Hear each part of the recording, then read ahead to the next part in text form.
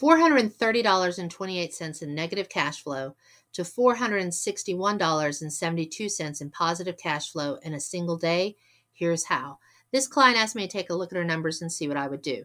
Here's what I would do I would cancel Netflix and Spotify. That's a savings of $37 each month. I would stop sending $370 to my savings account until I could get this debt paid off. I would stop sending $51 extra to Best Buy and redirect that $51 to my primary card. I would stop paying $190 extra to Lowe's and I would redirect that to my primary card. I would make the Citi card my primary card because it has the highest minimum payment and I want to absorb that $135. So the Citi card becomes my primary card.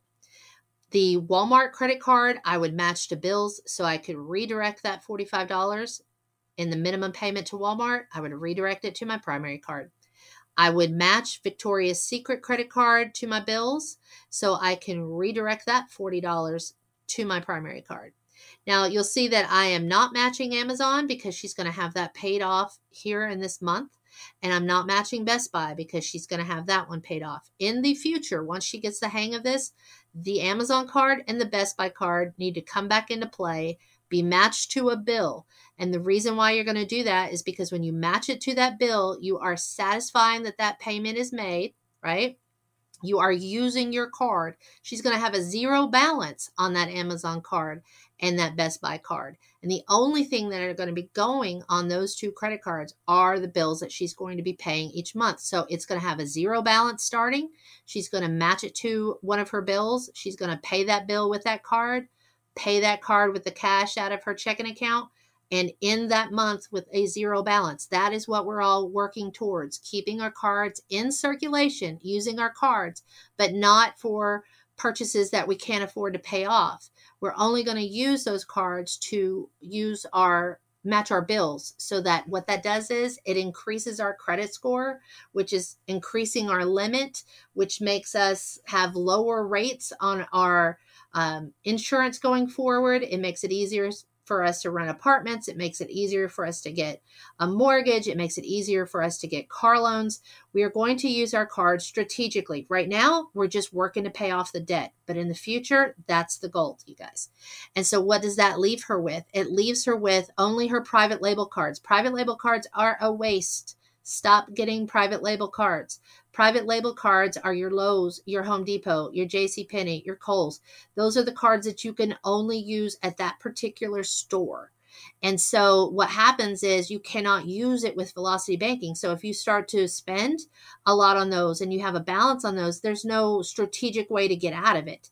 And a lot of times if they offer you a 0% interest on a private label card, it is deferred interest. Okay. And what that means is if you don't have that balance paid off at the end of the promotional period, then all of the interest uh, gets tacked onto the new balance versus your regular 0% APR cards, which are backed by Visa, MasterCard, American Express, or Discover.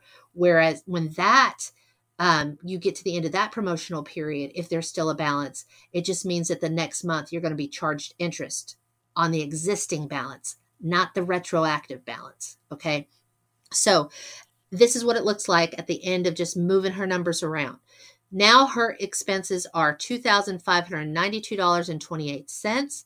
Her variables, I had asked her if she could come up $6 short each week on groceries. She said yes. So that's where I came up with the 1076 in her variables. Uh, that brings her total to $3,668.28. Her income remains the same at $4,130. She's now cash flow positive $461.72. And all that we took out of her budget at this point was Netflix and Spotify because she's got a pretty much uh, a bare bones budget as it is. So we just canceled the redundancy because she had the Amazon Prime. A lot of people are watching stuff on YouTube. You don't need Netflix, you don't need the Spotify if you have Amazon Prime. So she is also left with her car payment and her mortgage. She is $461.72 cash flow positive after doing all of this. And when she pays off that Amazon card this month, she will now have $496.78 cash flow positive. I touched a little bit on her Best Buy card because it is the 0% APR and her Lowe's is a deferred interest card. And I want to show you again why I'm saying stop sending the extra money to that and put it towards your Citi card, your primary card. And I'll be going over that in the next video.